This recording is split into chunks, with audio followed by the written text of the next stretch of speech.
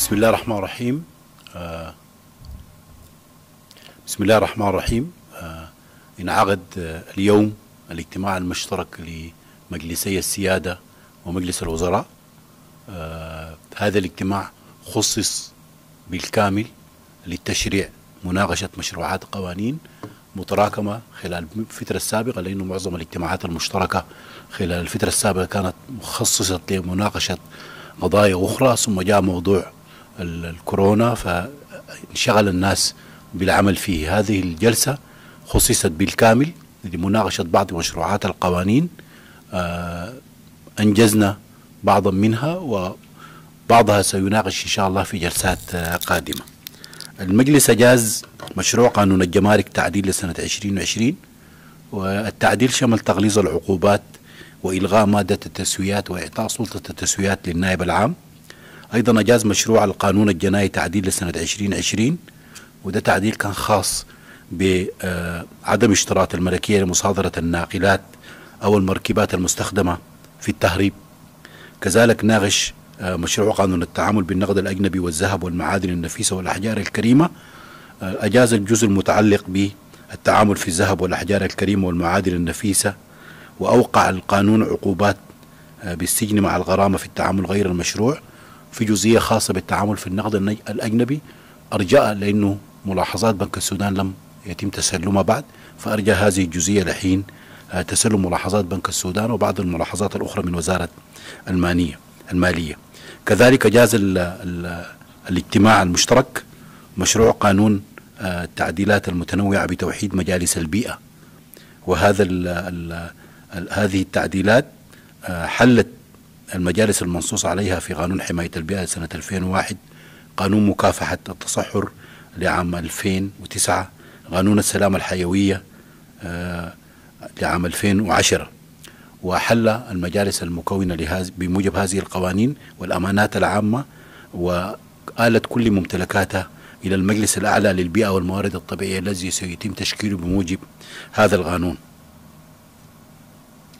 أيضا أجاز الاجتماع المشترك مشروع قانون بإلغاء قانون جمعية الهلال الأحمر السوداني والمشروع ألغى القانون لكنه أبقى على النظام الأساسي وأعطى الحق لمجلس الوزراء لتكوين لجنة تسيير هي التي بعد ذلك يمكن أن تقترح مشروع قانون أو أي شيء لجمعية الهلال الأحمر السوداني.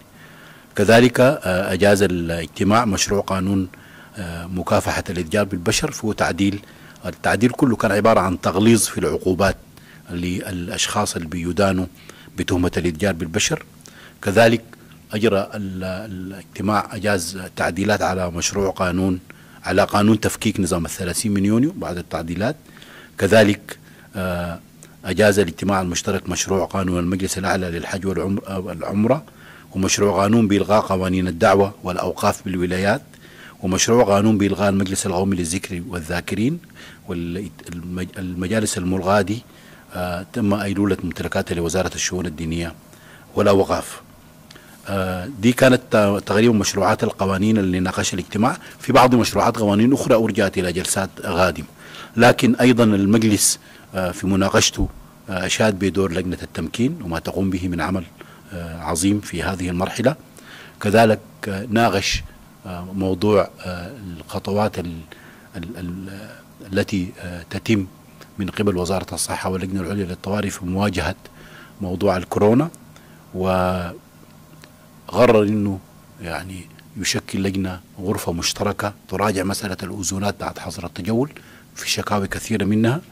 كذلك وجه بأنه يكون في خط ساخن للأطباء لأنه ناقش مع معارض وزير الصحة عن تعرض الكوادر الصحية والأطباء إما لاعتداءات أو لإيقاف في مناطق مختلفة في العاصمة في محطات البنزين أو عند بعض الارتكازات وكذا.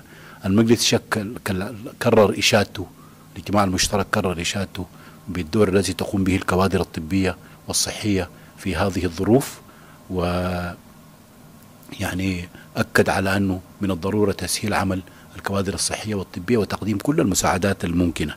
واقترح أنه يكون هناك خط ساخن للأطباء. إذا ما تعرض أي طبيب لأي شيء يتصل بهذا الخط الساخن وتتحرك الجهات المسؤولة لمعالجة هذا الأمر.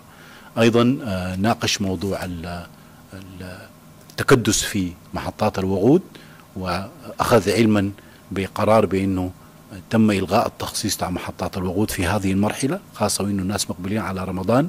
سيتم تزويد كل محطات الوقود في العاصمة بالبنزين والجازولين على أساس أنه يتم آه، إنهاء التكدس في المحطات التسعة التي كانت مخصصة. سيتم توزيع الوقود في كل محطات البنزين الموجودة في العاصمة حتى أنه الناس يأخذوا يعني حصتهم المناسبة. بعد ذلك سيتم تخصيص بعض المحطات للكوادر الصحية والطبية وللجهات اللي عندها أذونات آه، حظر التجول شكرا جزيلا.